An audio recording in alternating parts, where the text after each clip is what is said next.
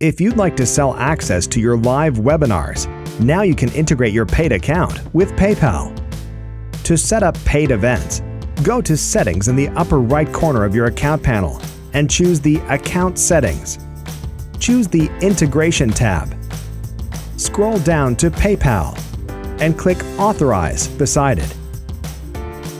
You can also integrate with PayPal while scheduling an event. Simply choose the Paid Access type and click Authorize.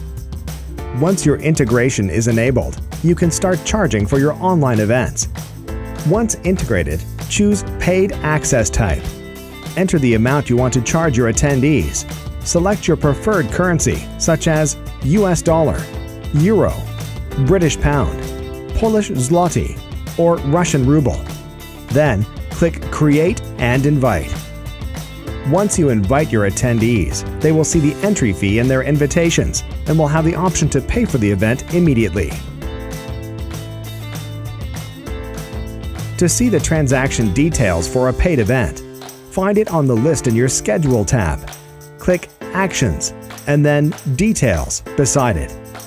In the Paid Event tab, you'll find the summary of earnings for this particular event and a full list of your registrants with their status.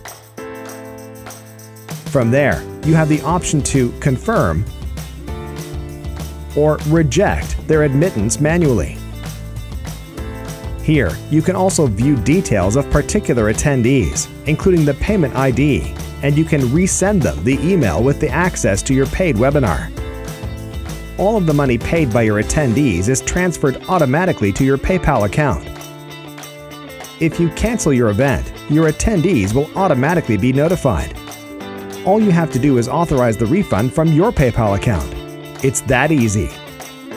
Ready to start making money on your webinars? Don't hesitate. Integrate PayPal into your webinars today.